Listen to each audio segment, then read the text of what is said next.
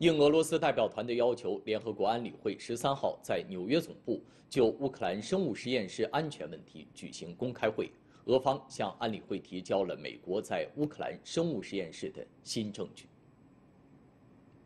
俄罗斯代表团当天在会议上提交了有关美国在乌克兰生物实验室从事生物军事活动的新证据。俄罗斯常驻联合国代表聂边贾在发言中表示，美国五角大楼参与在东欧和俄罗斯边境地区进行的生物实验，威胁到了俄罗斯安全，也威胁全球安全。一边甲对美国在乌克兰河流中收集病原体的目的提出质疑，并称俄军在赫尔松等地区发现了数十架可能装有生化武器喷剂的无人机，对当地居民构成了严重威胁。